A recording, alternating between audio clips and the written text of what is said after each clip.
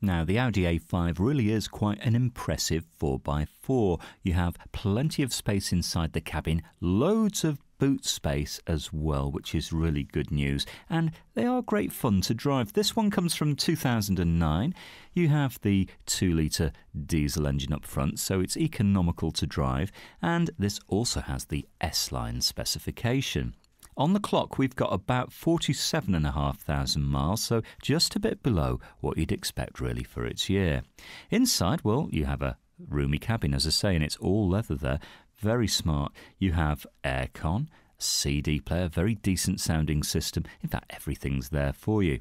Now, these cars are not bad when it comes to running costs. You'll get around 42 miles to the gallon, uh, probably late 40s, early 50s if you're doing a motorway journey, and six months road tax is just over £100.